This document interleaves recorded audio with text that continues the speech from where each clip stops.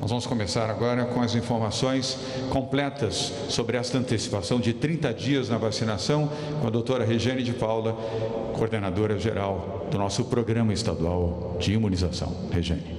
Então, adultos sem comorbidades, de 50 a 59 anos, 16 de junho, iniciamos a vacinação de 3 milhões de pessoas. Adultos sem comorbidades, de 43 a 49 anos, 23 de junho, 3 milhões de pessoas. E adultos sem comorbidades, de 40 a 42 anos, dia 30 de junho, 1,45 milhão de pessoas.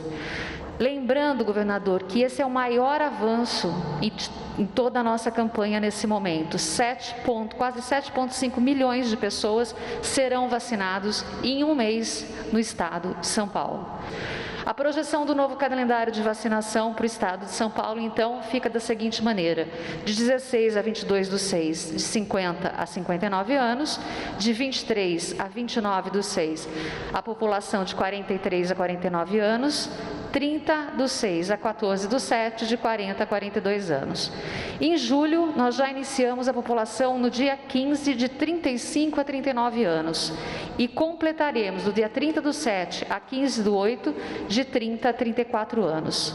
No dia 16 de agosto, nós começamos com a população de 25 a 29 anos e do dia 1 de setembro a 15 do 9, de 18 a 24 anos.